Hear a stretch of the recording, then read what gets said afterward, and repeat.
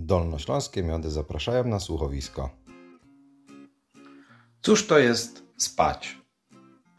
Mówiąc bez ogródek, rozwolnienie mszyc. Każdy z nas nieraz na pewno spotkał się ze spadzią. Występuje ona na igłach i gałązkach jodeł, świerka oraz mądrzewia, a z drzew liściastych powleka wierzchnią stronę liści dębu, leszczyny czy lipy. Takie liście lub igły są wówczas pokryte lśniącą, lepką, słodką, dość gęstą cieczą, niby ciasto przejrzystym lukrem. Ten niby lukier wydalają głównie mszyce, a rzadziej czerwce. Nakuwają one za pomocą kłujek, czasem dwa razy dłuższych od nich samych, maleńkie, niewidoczne dla oka dziurki w liściach drzew i wysysają z nich sok. Sok ten składa się głównie z wody, ale ma i nieco cukru. Ślady białka, a właśnie ono jest mszycom najbardziej potrzebne.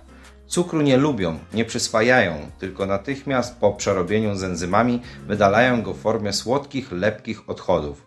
Ładniej brzmi e, wydzielin. Do tego jeszcze dołącza się odrobina soku z liścia, którym można by powiedzieć kapie po brodzie owadom i razem tworzy spać. Niby wszystko to zdaje się być ilością minimalną, bo ile taka mszyca potrafi wydalić? Jest przecież mniejsza od ziarenka maku. Obliczono więc całą sprawę i to dosyć skrupulatnie. Otóż w ciągu doby jedna mszyca wydala 19 kropli, każda o średnicy 1 mm. Co prawda tylko wtedy, jeśli żerują na liściach lipy, bo na klonie potrafią wytworzyć aż 48 kropli spadzi.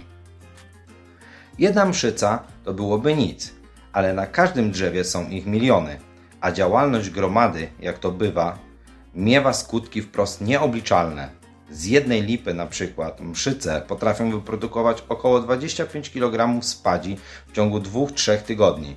Podobnie wydajne są czerwce, które razem z mszycami doją zwykle drzewa iglaste. Mrówki też przepadają za spadzią i wprost hodują mszyce, aby mogły z nich pozyskiwać spać. Zwykle zresztą wykorzystują więcej spadzi niż pszczoły. Badania Wallensteina z 1965 roku wykazały, że w sprzyjających warunkach klimatycznych mszyce występują masowo i wówczas pszczelarze mogą liczyć nawet na 50 kg miodu spadziowego z każdego ula ustawionego w lesie.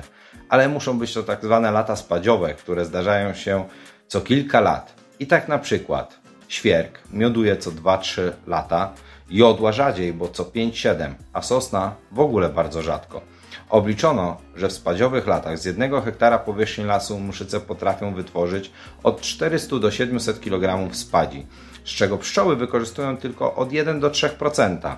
Wallenstein wyliczył, że tam, gdzie są mrówki, miodu jest 1,4 raza więcej niż w lasach, gdzie mrówek nie ma lub jest ich niewiele.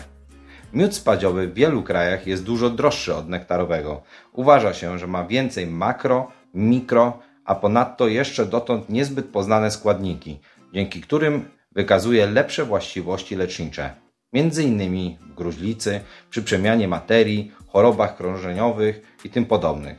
Pszczoły bardzo chętnie przerabiają spać na miód. Zresztą bywa, że prócz spadzi niewiele więcej mogą dla siebie znaleźć. A jak ten proces przeróbki przebiega? Również przebadano skrupulatnie.